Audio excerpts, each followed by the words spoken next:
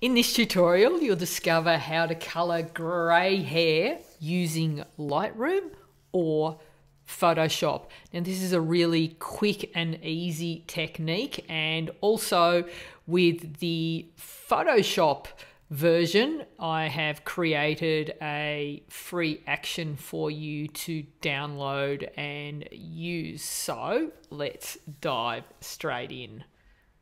Okay, to reduce the appearance of grey hair in Lightroom, what the setting that I like to use is the adjustment brush. So that's in the develop module. It's this little icon here. It looks like a brush. So click on that.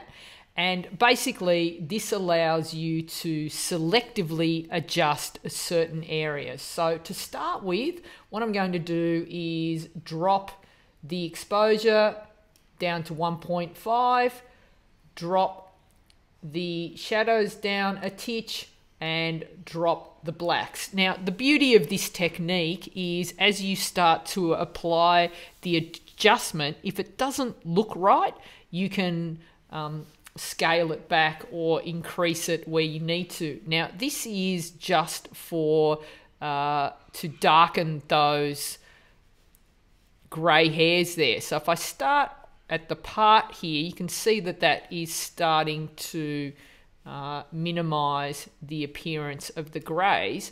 But what you'll also notice, if I come in a little bit tighter here, is that the color isn't quite the same. So all I'm doing is darkening that area, but I'm missing out on the actual color there.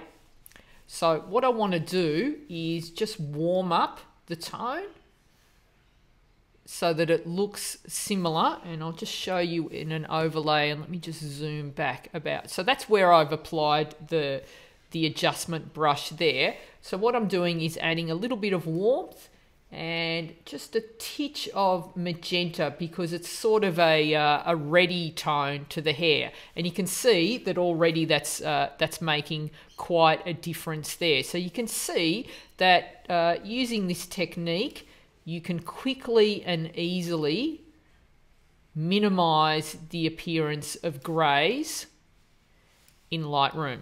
All right? Now the other settings in the brush settings what I like to, to have is a, a really soft brush. So I like to have a 100% feather on my brush. So let me, so if I hover the brush there, you can see that it's got that uh, central uh, circle there and the outer circle shows you the amount of feather. So I've got a nice soft brush so you're not going to see any hard edges. I have my flow at 50 and I've got my density at 100. So um, basically, setting the flow at 50 means that I can um, increase the uh, impact of the adjustment brush in layers. All right, so um, let me show you what I mean by that now. Okay, let's just have a quick look at the adjustment brush and how you can change the settings. So you can use uh, your scroll wheel to increase or decrease the size of your brush. You can also use the slider here on the side in the brush tab, or you can use your bracket key to increase and decrease the size of your brush. Now, the settings on the brush, you'll notice uh, here that I've got a central uh, brush circle and then there's an outer circle. So the outer circle shows you how much of a feather that you've applied to the brush. Now the feather is how soft or hard the edge is going to be. So if I take my brush and I reduce the feather to zero, you can see that I no longer have that outer uh, um, circle there. And if I was to apply a, uh, a, a setting to my brush, I'm going to just apply color so that you can see the difference. With zero feather, you can see that I've got a hard edge. All right. If I was to apply 100% feather, you can see that I've got a lovely soft edge. So for all the different applications, you can either have a softer brush or a harder brush. So that's the feather. Now, what about flow and density? Now, how I like to work is to have my density up to 100% and I keep my flow at around 50. And the reason for this is if I wanted to apply this red color to my uh, image, and uh, let me just bring the feather down to zero so you can see exactly what's going on. If I was uh, with the flow set to 50, basically what I can do is I can keep going over that area and eventually it, it, it'll build up to, to the maximum density of that color.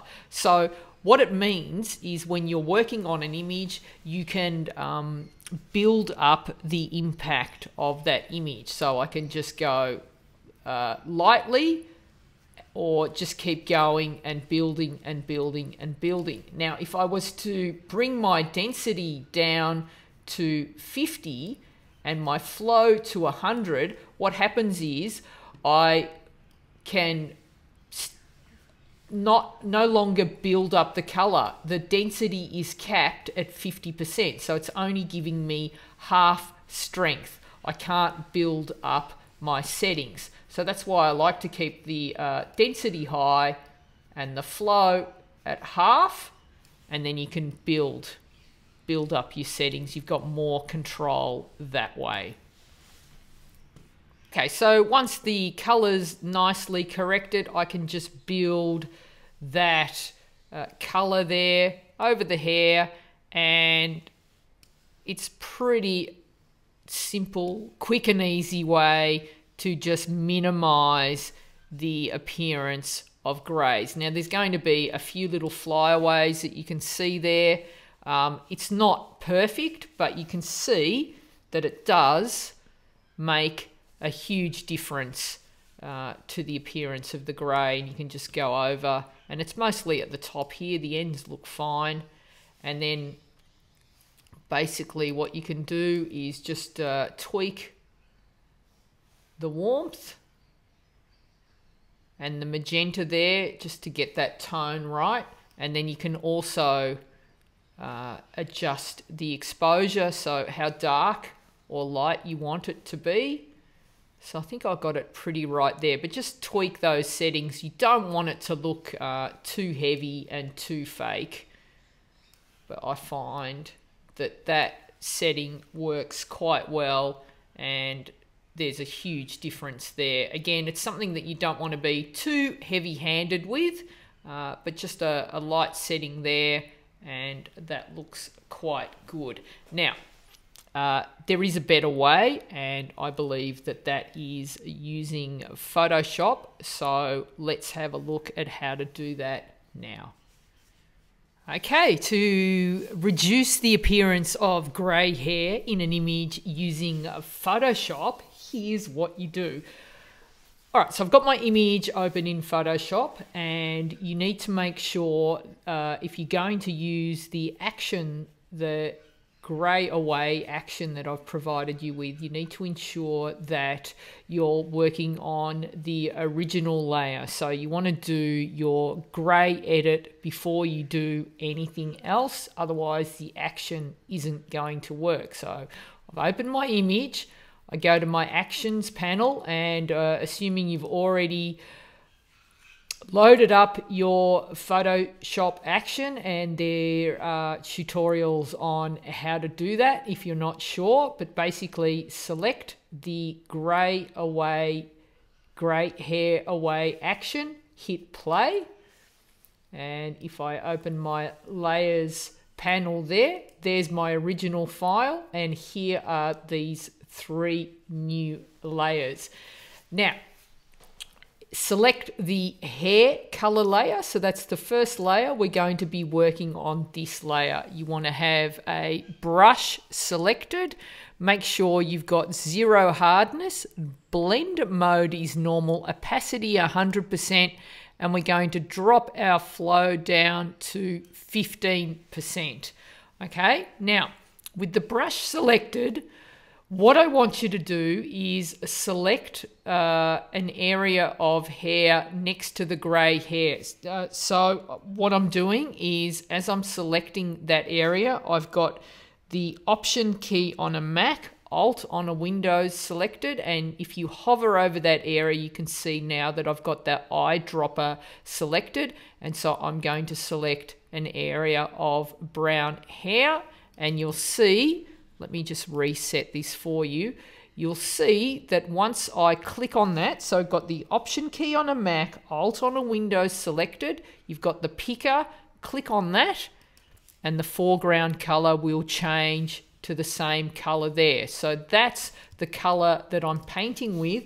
And all you need to do is just reduce the brush size a little bit, is brush over those areas. So I'm actually painting color over those areas. And what you'll also notice happens is as I paint the color, you'll notice that I'm still maintaining the texture of the hair. So I'm not losing any of that texture. And that's this little layer that I've created here. The sharpen layer allows that to happen. So it's just the way that I've configured this action means that you can brush the color over the gray without losing uh, the texture of your hair. So what I suggest you do to get a really realistic look is it's like if you look at hair, it's not just one color, it's lots of different colors. So you can see with this um, image here, I've got tones of red, I've got lighter areas and darker areas. So to, to make it more realistic, what you want to do occasionally is maybe lighten the color that you've chosen and then go ahead and keep brushing over the areas. Okay, so I'm choosing a lighter area for these and I'm just also, as I'm brushing on, I'm following the line of the hair. Okay, and now I'm going to come in here and choose a lighter color just to blend in with those areas here and brush over the different areas of grey. All right, now here at the temples, I'm going to actually go with a darker shade. So again, holding down the option on a Mac, Alt on a Windows, and brushing over those darker areas. And also the part, I'm going to make that a bit darker just so that's uh, quite realistic. All right, and... But just the important thing to remember is that you're continuing to change that the color of the hair as you go along so that you're not getting one solid color which kind of looks a bit wrong town okay? And once you're happy with that there will be areas little areas of white that will just uh, stay but that that sort of keeps that natural look to the hair. And sort of get that area there at the back. All right, so once I'm happy with that, so that's the hair overlay. You can see the before and after. What I'm going to do is just drop the opacity a titch so it doesn't look too uh, fake there. And the final thing that I'm going to do and if you want to refine this selection and just work a bit faster, what you can do is actually, once you've covered all the areas there, okay, and you want to come back and refine that, what you can do is add a layer mask, invert it. So that's basically, I've just hidden what I've done, and then I can come back with a white brush and carefully apply that color just reveal what I've just done. If if you want to be like just say you're doing someone's beard or um, the, the image is a lot sharper and like you've got the background as well and you don't want to uh, make a mistake and you want to be uh, fine tune the image then coming back with the layer mask is a good idea it just means you can just take your time and get that that blend looking good. All right, so I'm happy with that. But one thing that's happened is now that I've added the color over the top of uh, the original hair color, it kind of looks a little bit flat. So what I want to do is add some hair shine. So if I come up to the top layer here, select this layer here, it's an actual layer mask. So what I can do is I've got my brush selected, uh, nice soft brush, so zero hardness, blend mode normal, opacity 100%. Again, my flow, I'm going to keep it at 15%. Select my brush, and what I'm going to do is just uh, dab some shine onto the hair, just to give it a little bit of uh, the shine back in the hair because where I've painted the color back on, it's made the hair look really dull. So you can see now that I've added some shine to the hair. All right, so you can just adjust that. And if you think you've gone too far, you can come back where you think you've made some mistakes and just brush with black. And if you want to just reduce the opacity, but I think that just gives it a lift. All right, so we've gone from before to after. That's without the shine. So first of all, we've added the color and then the highlights there and you get something that looks fairly realistic there. So that's how you remove grey or the appearance of grey hair using Photoshop.